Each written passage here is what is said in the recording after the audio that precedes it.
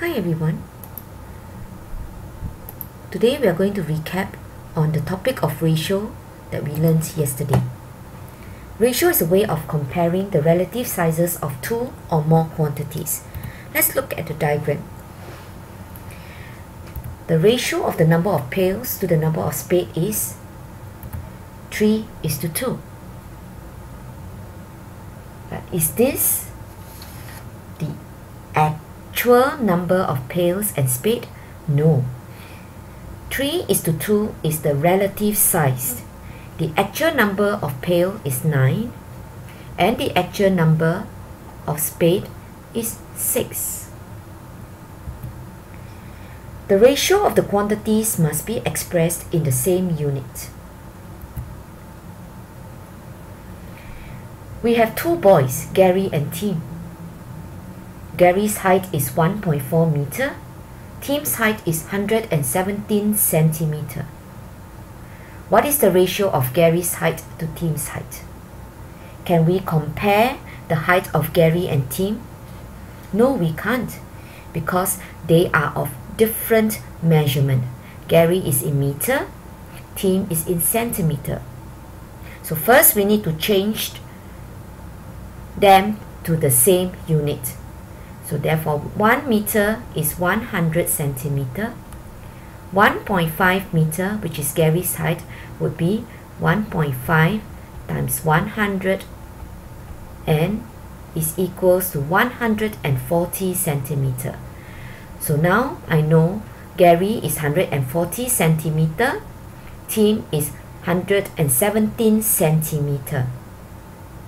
We can now find the ratio of Gary's height to Tim's height.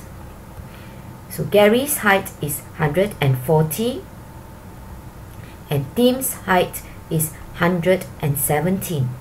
We do not have to put in the cm because both are in the same unit of measurement.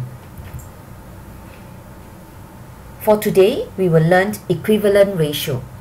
We will learn how to write equivalent ratios and express ratio in its simplest form. Let's take a look, take a look at this picture. The ratio of the number of apples to the number of oranges is 4 is to 8. If we grouped the apples and oranges in groups of 2, we can simply say that the ratio of the number of apples to the number of oranges is 2 is to 4.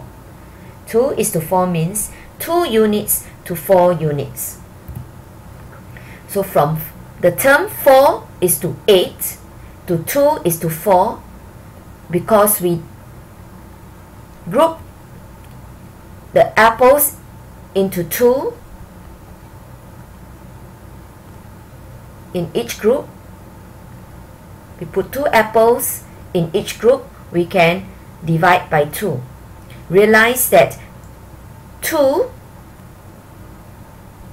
is a common factor of 4 and 8.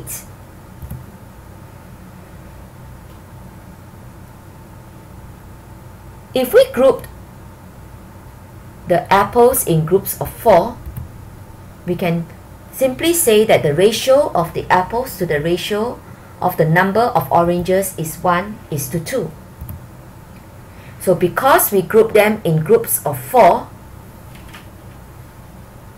we can take 4, the term 4, divide by 4 is 1, and 8 divide by 4 is 2.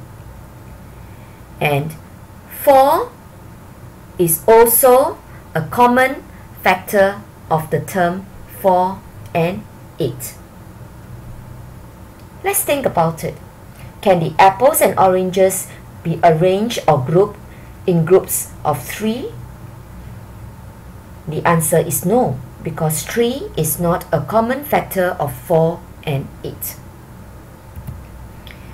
So the equivalent ratios are 4 is to 8, 2 is to 4, and 1 is to 2. And the ratio in the simplest form is 1 is to 2. 1 is to 2 is the simplest form because we cannot divide this term anymore. Now let's find out the equivalent ratios of this. 2 is to 5 equals to 6 is to how many? So from 2, the term 2 is to 5. We can multiply by 3.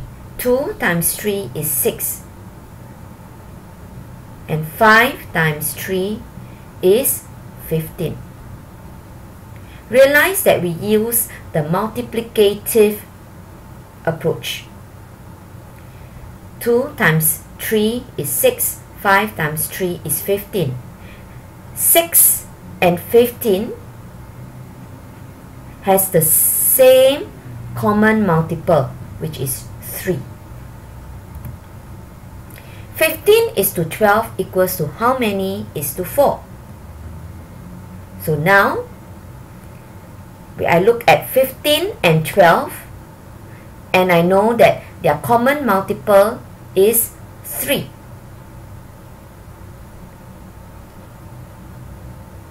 So 12 divided by 3 is 4.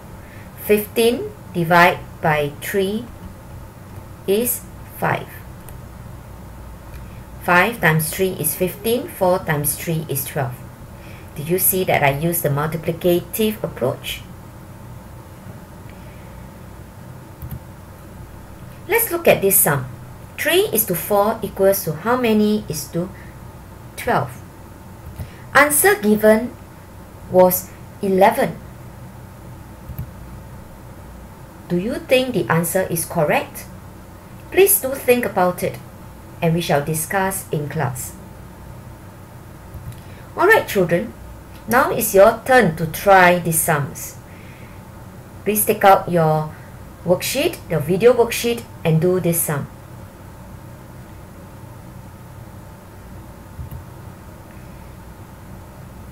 Let's summarize. Today we learned equivalent ratios.